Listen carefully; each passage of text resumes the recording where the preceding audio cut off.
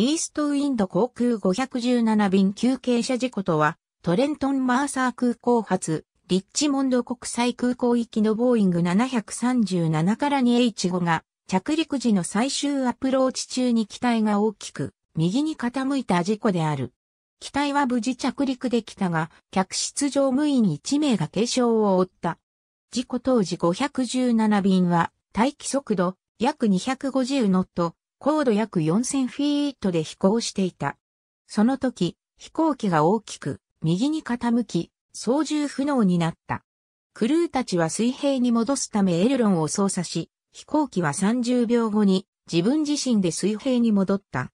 緊急時のチェックリストを実行しようとしたとき、再び機体が大きく右に傾き、30秒後に水平に戻った。副操縦士が緊急事態を宣言し、リッチモンド国際空港に無事着陸した。機体に大きな損傷はなかった。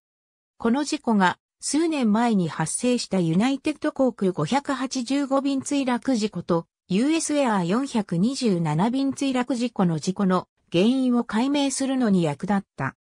その後737型機の方向打は特定の状況下では方向打が操縦士の操作とは逆方向に動いてしまうというラダーリバーサル現象が発生することが判明した。ありがとうございます。